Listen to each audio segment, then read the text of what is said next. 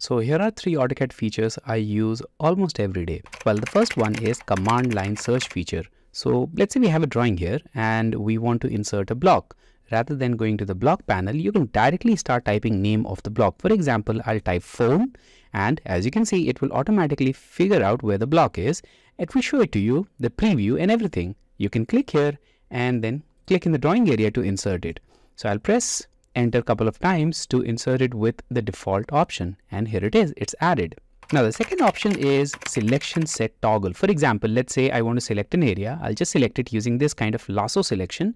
And now i'll press my space bar key when my left click is still on hold and here it is. Now it's toggling between different kind of selection sets. And the final one is shift key override. For example, if you are making a line, it's in polar mode.